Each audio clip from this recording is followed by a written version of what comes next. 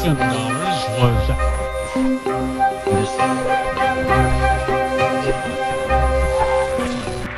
desde lo colectivo fue el reto que se propuso la Escuela Nacional de Comunicaciones que acompaña a Planeta Paz.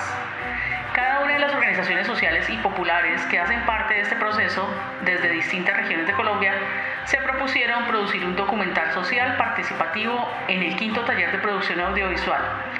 Lideresas y líderes de los departamentos de Caquetá, Nariño, Cauca, Valle del Cauca, Caldas, Santander y Magdalena acordaron mostrar sus prácticas y experiencias cercanas a sus territorios sobre los procesos de defensa de las mujeres y las personas LGBTIQ alrededor de la paz y el ambiente.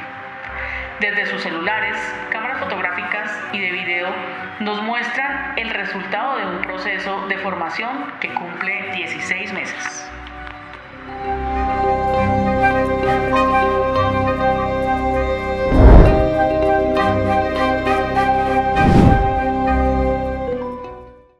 Les invitamos a recorrer estas historias y vivencias desde sus protagonistas y aliados. Esta diversidad de voces territoriales son sin duda aportes en el camino de la construcción de paz.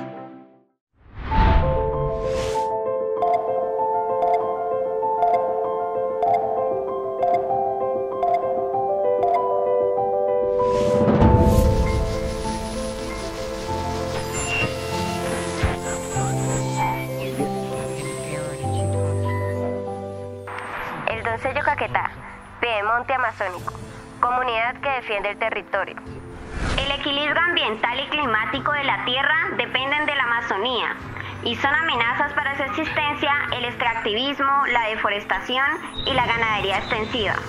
Éramos de pronto un poco inocentes y pensábamos que venían trayéndole progreso a la región porque ellos decían pues que eso era unos programas que ellos iban a, implementar en la región, que nos iban a traer muy buenos recursos. Pensamos nosotros a darnos cuenta de que ellos no estaban invirtiendo en la región y de que el daño no compensaba con los recursos que ellos nos ofrecían, en vista de que ellos empezaron a regar unas mangueras y a hacer unos diferentes estudios y a gretear la tierra como nos, nosotros hemos visto que se se abre la tierra y entonces ya nosotros analizamos ese, ese problema, que ya no era un beneficio para las comunidades, sino que era un daño ecológico el que se estaba haciendo. Todos nos unimos, todos a un llamado que se hizo en Junta de Acción Comunal, mujeres, hombres, a no permitir que estas multinacionales entraran a nuestro territorio. Por este motivo eh, ya no era un solo enemigo, el Estado defendía los intereses de los más eh, poderosos. Hemos trabajado muy duro para defender nuestro territorio, porque la verdad que el Estado se va a favor de las petroleras y nosotros que ellos deben defendernos, nosotros nos ha tocado solos. Porque la verdad fue mucho el desgaste de las veredas, eso todos los días cambiábamos de personal, digamos, para ir a hacer la resistencia y mucha gente enferma, muchos heridos, a veces se aguantaba hambre.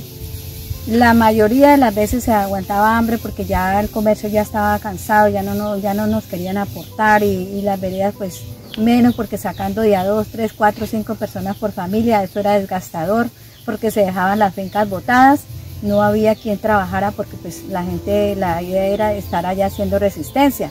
Por esa unión tan grande no, no se dio ese, esa extracción de nuestros recursos. Demostramos de que sí se puede, de que no necesitamos sino las ganas para sacar adelante cualquier tipo de proceso. Estamos luchando por darle a conocer al mundo no unos conflictos, sino unos productos, ya sean de no maderables del bosque, o sea, ya cultivados, pero nuestra Amazonía la queremos mostrar bonita, la queremos mostrar limpia.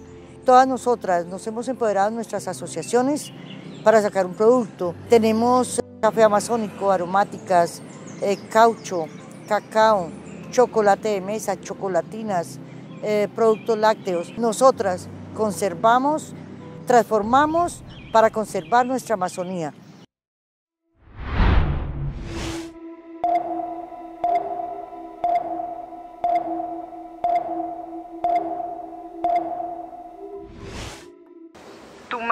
La perla del Pacífico, lugar de pescadores, territorio de líderes y lideresas.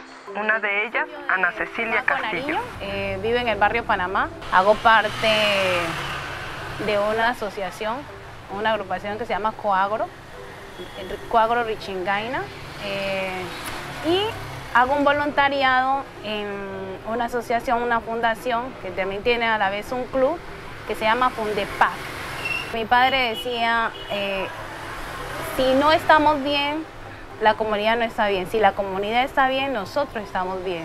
Buscaba todo lo que tenía que ver con alfabetización y lo llevaba al barrio. Él fue el primer director de la Casa de la Cultura en Tumaco.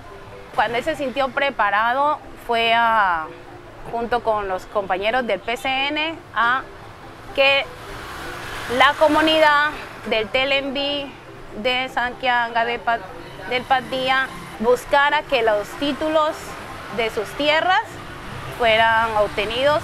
El cuadro Richangaina es, significa en, lengua parenquera unión, juntanza.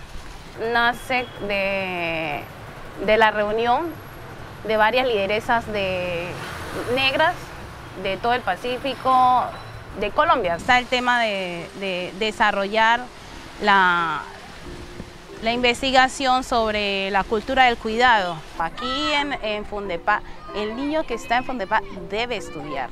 Muchos niños mm, ocuparan su tiempo libre en, algo más que no fuera eh, recorrer las calles o miraran, miraran el, tema del fútbol como una, como un aliciente para ellos eh, tener una mejor perspectiva de la vida. Tumaco es un semillero de futbolistas. Tumaco es, es el fútbol se tiene en la sangre y el, el fútbol une, une. La mujer siempre ha sacado su, saber, ha, sacado su ancestralidad y con todo eso ha logrado de que sostener eh, el sistema del cuidado, pensar que se pueden hacer las dos cosas, tanto ejercer el liderazgo como estar en el cuidado de, nuestra, de nuestro hogar. Nuestro papel no solamente es hacer relleno, sino que aportar y ese, y ese, en ese aporte eh, cambiar, cambiar también el, parte del sistema. Si la comunidad está bien, nosotros y nosotras estamos bien.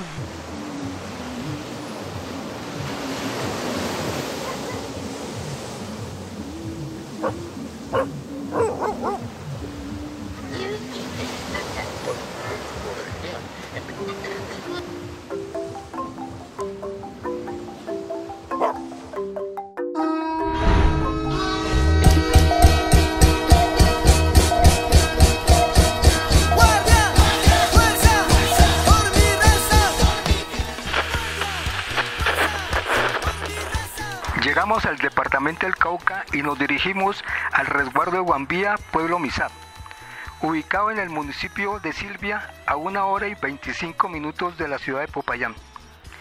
En nuestro recorrido por los territorios vamos a dialogar con la actual gobernadora año 2022, mamá Luzdari Aranda.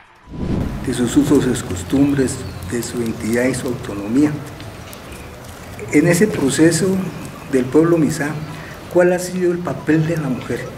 Eh, nuestro papel es fundamental, por eso dicen nuestros mayores que cuando se muere una madre o un hogar se termina, pues prácticamente se apaga el fogón, porque ya no hay quien lo atice, ya no hay quien eh, le proporcione ese calor, porque yo creo que más que el fuego es somos nosotras las mujeres las que le ponemos ese, esa, esa energía, esa, esa unidad a través del fuego y a través de ello los alimentos que se cocinan ahí, que se proporcionan a la, familia.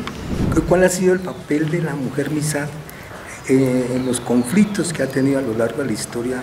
No ha sido como a voz así, que, que, como en otros espacios que yo he mirado, que la mujer habla y se para fuerte y dice las políticas deben ser así, eh, de protección, no, sino que nosotros lo hacemos más desde el hacer, desde el trabajo, desde la familia. Ese ha sido como, como una manera de, de ir protegiendo el territorio. ¿En, qué momento uh, el pueblo misá eh, determina a considerar que la mujer es, es fundamental en el liderazgo político, económico, cultural, educativo del pueblo. El, el, haber ido a la escuela, el haber ganado esos derechos a nivel internacional cuando ya, ya empezamos a ser una, reconocidos con la Constitución del 91, eh, empezamos a ingresar a las escuelas, a poder votar. Eh, y yo creo que eso ha, eso ha servido porque pues hemos estado en, en los diferentes procesos, lo que no, no, hemos tenido es voz, pero que se ha ido pues poco a poco eh, reconociendo, los hombres han ido reconociendo, eh, nosotras mismas, no ha habido como ese valoramiento. Nam ishumbur merabe chimarpe pishindo aramiguanisua marebeleger. Buen vivir te iguanisua. Chikabiguan undara beliger, musikwan musikmeran namun tablinja puraben renreiswa, yu arabelan pubelan gucha.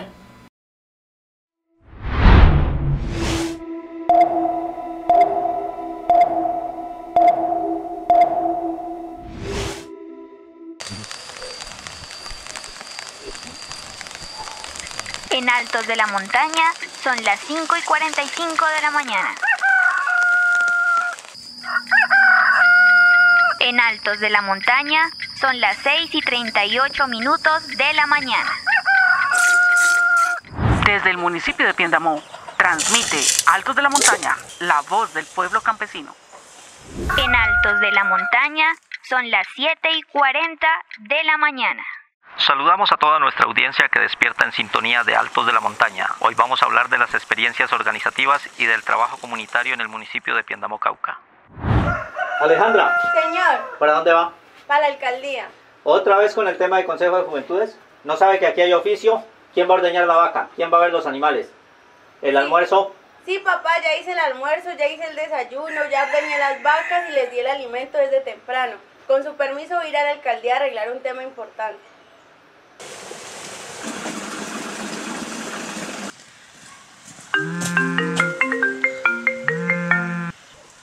Hola, amor. Hola amor, ¿cómo estás? ¿Qué haces? Nada, amor, voy caminando para la alcaldía. ¿Cómo así? Si nosotros nos quedamos de vernos, yo estoy saliendo por usted. No, pero si yo ya te había dicho que iba a ir a, a la alcaldía a arreglar el tema de los consejos municipales de juventud. Usted siempre con sus cosas, amor, como si le perdió algo por allá. ¿Sabes qué? Escoja entre su consejo y yo. Ay,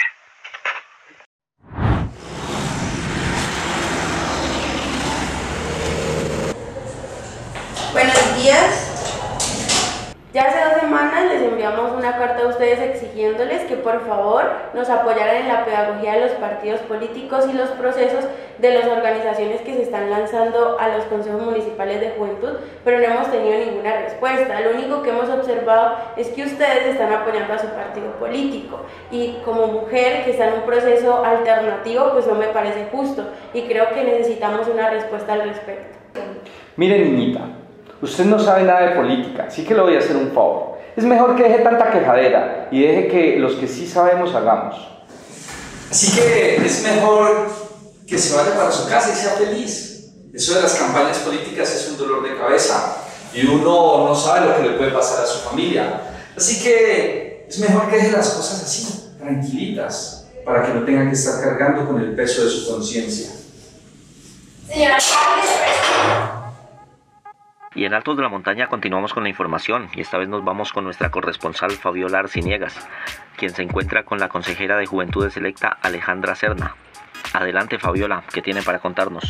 Muy buenos días. Hoy estamos aquí en el municipio de Piendamó desde su canal Altos de la Montaña. En esta ocasión tenemos a Alejandra, quien ha sido electa en el Consejo de Juventudes. Alejandra, bienvenida. Muchas gracias. Bueno, hoy primeramente quiero agradecerle a Dios por permitirnos participar en este espacio, agradecerle a todos los compañeros y personas que nos apoyaron a seguir adelante. Eh, también como se vio anteriormente, pues el día de las elecciones nos tocó competir con una maquinaria bastante fuerte, como fue los partidos tradicionales de nuestro municipio, ya que tuvieron pues los recursos económicos para solventar los viáticos de algunos de los jóvenes que salían a votar y pues de alguna manera también eh, solventaron sus favores políticos.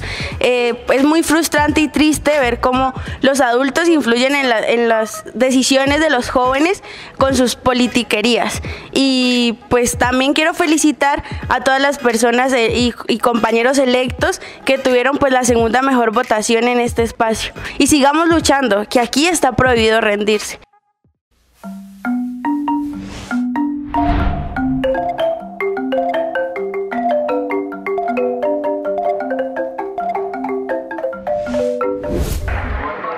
Desde La Paz, su emisora en la 98.9, les informamos desde Jamundí, Valle del Cauca, donde dos líderes sociales nos comparten sus historias. Dos vidas que se unen y se entrelazan entre el activismo, el trabajo social y el apoyo de los conciudadanos y conciudadanas de Jamundí. Alexander Cuatindioy, activista, líder LGBTIQ+, quien escapó de la violencia de la guerrilla para hacerle una terapia de conversión. Y Marisela Rivera, lideresa social, que tuvo que huir de su casa Jamundí por esa misma violencia. Juntos trabajaron en caminos distintos, pero se reencuentran para seguir trabajando en pro de los derechos de todos y todas, porque todos y todas somos iguales. Tengo 42 años, eh, indígena, hombre gay. Decirle que Jamundí hay personas diversas, sexuales, que desde sus espacios eh, luchan día a día para que se reconozcan, se les respete y se les garantice, digamos, derechos. Tengo que reconocer que se ha presentado un poco fuerte la LGBT-fobia. Digamos, hemos perdido ya, recuerdo, dos amigos, eh, Nacimos desafortunadamente, los perdimos por ese odio, digamos, de las personas de Jamundí, del territorio, pues.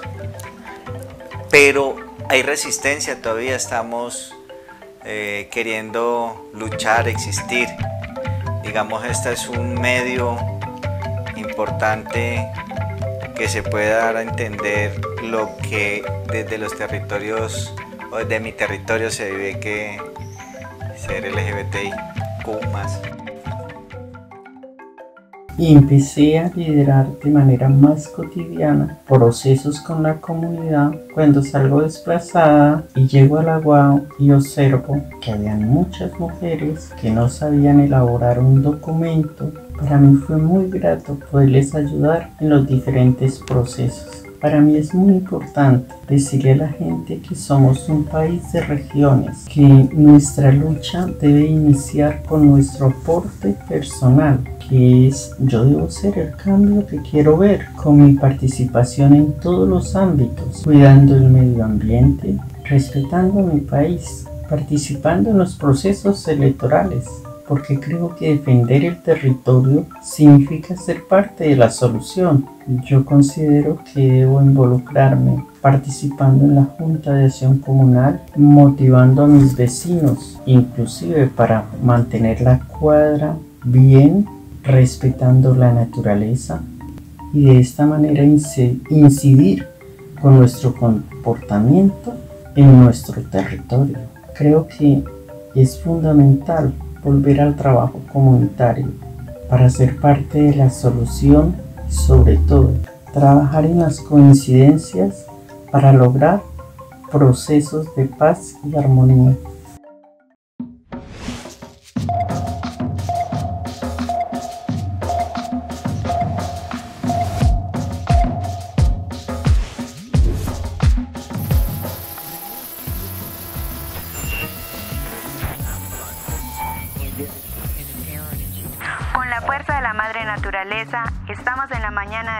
Desde el resguardo de origen colonial Cañamomo Loma Prieta, ubicado en el municipio de Río Sucio Caldas, recordando y resaltando las luchas y memorias de nuestros mayores. Muchas veces nos quisieron calladas, nos tuvieron escondidas, estuvimos muertas en vida, pero la fuerza de nuestras ancestras siempre vibrará dentro de nosotras empujándonos a hacer sonar nuestra voz. La Madre Tierra y la Fuerza Universal nos otorga el poder para seguir firmes y no permitirnos estar calladas nunca más.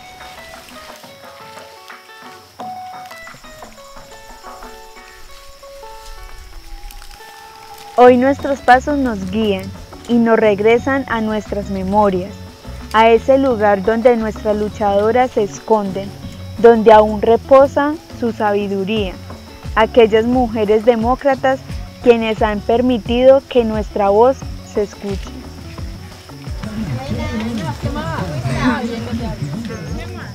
Empezamos con, con cuatro mujeres. Nos, reuníamos en la casa que yo les dije, las, dos emisoras eran la casa de la Vinadita Sinforiana, que era mi abuelita, y la casa de mi papá, arriba. Cuando no nos reunimos allá, nos reunimos arriba, ¿cierto? Esas reuniones eran en casas así de, familia, por ejemplo, la mamá mía tenía una casa, tenía casa, entonces allá hacían una reunión, a los ocho días la hacían en otra casa de las compañeras, porque eso fue una, eso fue una organización muy grande en ese, en ese entonces fue muy, muy grande. La idea de organizarnos como mujeres demócratas fue por la idea de la compañera Zulma Reynosa, que en este momento no sé si ella está o no está, no sé dónde está ahora. Y empezamos con ella, ella nos alumbraba el camino cómo íbamos a empezar, cómo íbamos a hacer. Estábamos, que era Rosa, Rosa Hernández, Emma Rosa Hernández, mm, Inés, Inés, Zoila, era Berta, era Laura, era yo, era Teresa, damos ocho. Estaba la disjunta sinjoriana, estaba Romelia Albaiza, que era mi mamá.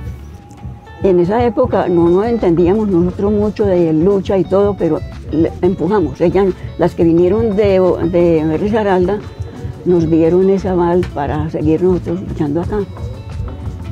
Ellas cuando venían de Pereira fue las que nos enseñaron a nosotros pues a como a valorarnos, ¿cierto? Como mujeres, que nosotros también teníamos un derecho, bueno, la situación está de, de estar en las reuniones, que los esposos no permitían eso, entonces nosotros teníamos una lucha libre también con ellos porque nos íbamos y bueno, y que la comida, que los niños, qué tal. Acostumbrar hasta los esposos a que dejaban la comida y que ellos mismos se sirvieran. Eso es una educación compleja. Resistencia.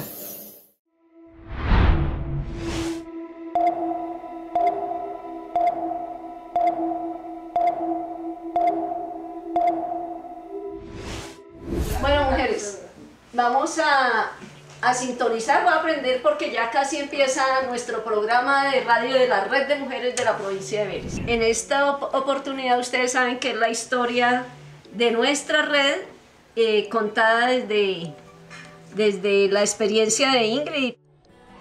Desde muy niña eh, siempre escuché que las mujeres éramos las que servíamos los tintos o las que ordenábamos la casa. Incluso cuando estaba en el colegio, y cuando participaba con otro hombre para eh, ocupar un cargo allí en el colegio dentro de la parte estudiantil, en la parte del gobierno escolar. Pero ya en el último grado, en el año 11, fui, participé como candidata a la personería estudiantil. Allí participé con otro compañero, hombre, el cual pues desafortunadamente digo yo porque él ganó, pero él ganó a punta de mentiras, ¿no? Ganó diciéndole a las niñas y a los niños que él les iba a hacer una piscina de olas, sin ser yo la personera, pero sí hacía las funciones de personera en esa entonces. Dentro de todo eso siempre pensé y aún lo pienso que a algunas personas aún hoy en día les gusta más escuchar las mentiras y no hablar con la verdad o no escuchar las verdades. Y más si lo dice una mujer, aún como que es menos creíble. En la universidad, cuando estaba estudiando, conocí que existía una ley de juventudes que estaba creada desde 1997 los jóvenes era desde los 14 años hasta los 26 años. Entonces yo ya tenía, estaba sobre los 25 años y entonces como era cuatro años el periodo, yo dije, si yo me hago elegir o si yo, sin ver que me decían que fuera yo la representante de los jóvenes, entonces yo decía, no, porque ya el otro año nos toca volver a hacer elecciones, nos toca volver a hacer otra vez toda la participación y, pues de confianza lo cedí y lo cedimos o lo cedí especialmente a, a un hombre, a un joven, pues yo creí que él iba a seguir impulsando pues esta actividad, pero no. Estuviera dentro del ámbito político siendo candidata al Consejo para el año 2003. No pasé el Consejo, pero en el 2018, eh, cuando ya fui eh, presidenta del Consejo, la verdad fue un reto muy grande porque no querían que participara, entonces siempre he pensado que se debe actuar y trabajar con honestidad y con una justicia social. Y espero y aspiro algún día para ser eh, próximamente alcaldesa del municipio de Argosa. Bueno, ¿qué tal? ¿Cómo les pareció el programa? Excelente. Buenísimo, bueno, buenísimo. Eso, entonces, así como Ingrid hizo y contamos la historia de ella dentro de, de, su liderazgo, el proceso que tuvo con la red y cómo llegó a ser concejala, pues cada una de nosotras que hemos estado en esos escenarios también vamos a ir contando nuestra historia personal. Bien, señora, bien, bien.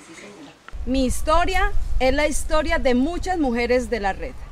Por eso queremos transformar desde las mujeres el quehacer político.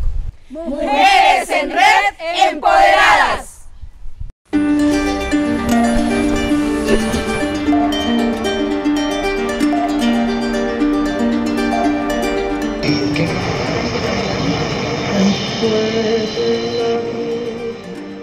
Recorriendo el territorio y llegamos al departamento de Santander, donde se encuentran ubicadas nuestras lideresas en los municipios de Sabana de Torres, Betulia y Zapatoca. Mi lucha empezó desde el año 2008, cuando empezaron a actualizar los estudios para hacer la hidroeléctrica en los ríos Sogamoso y Chucurí. Eh, pues para mí no fue fácil, primero porque vivía en una, pues vivo en una zona rural, soy campesina y pues debía desplazarme casi cuatro kilómetros para poder tomar bus, para yo poderme llevar a los sitios donde estaban principalmente las reuniones concentradas. Esta zona que ustedes ven acá atrás es una de las zonas más infectadas, aquí afectadas. Aquí se pues desembocaba, pasaba el río Chucurí.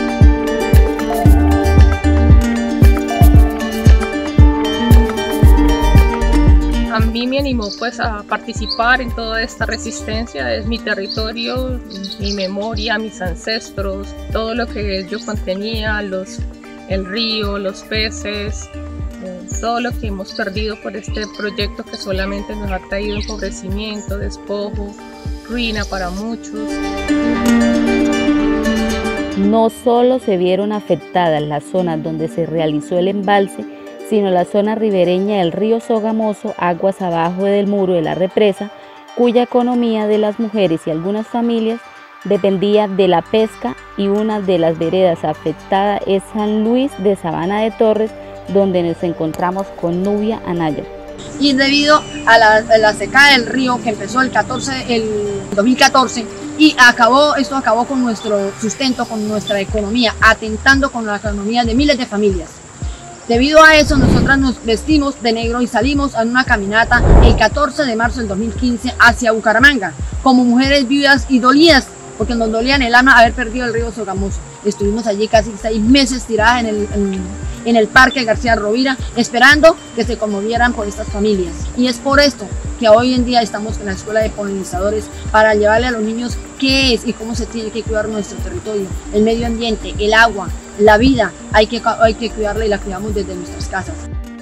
Este monstruo iba destrozando familias, se llevaba todo lo que encontraba, 7.000 hectáreas en montañas, cultivos y desplazando personas y animales, quitándole lo más preciado que esta comunidad puede tener, sus arraigos culturales. Cuando tenía 6 años empecé a acompañar a mi mamá a las reuniones de Ríos Vivos.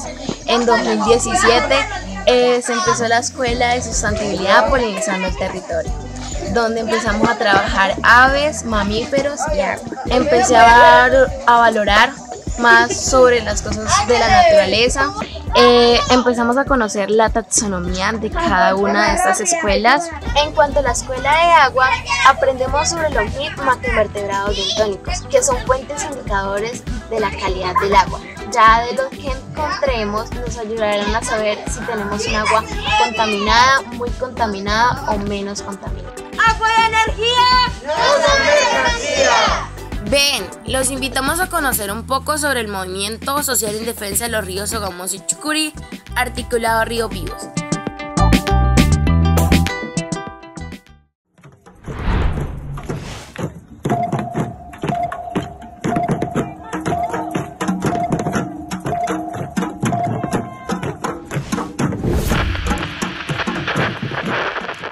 Y en Santa Marta, las mujeres siguen siendo noticias.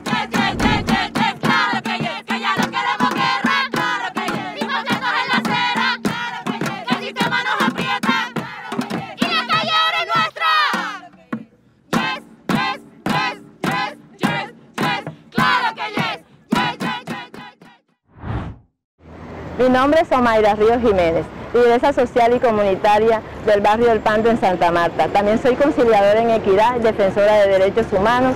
Desde hace más de 20 años trabajamos por la eliminación de las violencias. Hola, mi nombre es Chelsea González Castro.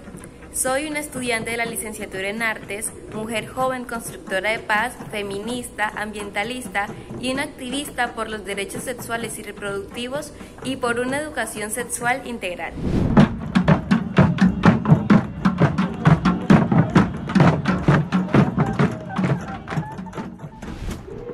En el 2017, después de más de 25 años, las mujeres volvemos a tomarnos las calles de Santa Marta esta vez un 8 de marzo, con el fin de exigir la eliminación de las violencias de género y el respeto de nuestros derechos. Y desde entonces salimos a las calles a marchar acordando un tema clave de la coyuntura.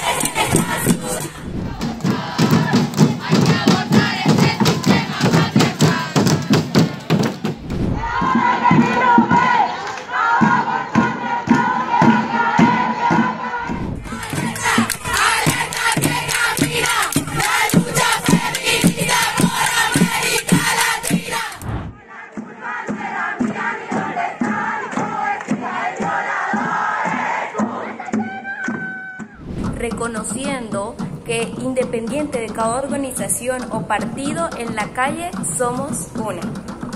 Mujeres populares, comunales, lesbianas, campesinas, trans, empleadas, amas de casa, mujeres jóvenes, estudiantes y veteranas. Sin dudas diversas, pero hijas de esta tierra del Caribe. Y es por esto que los murales, los colores, los turbantes, las polleras, las arengas, la tamborada o la danza hacen muestras de nuestra cultura.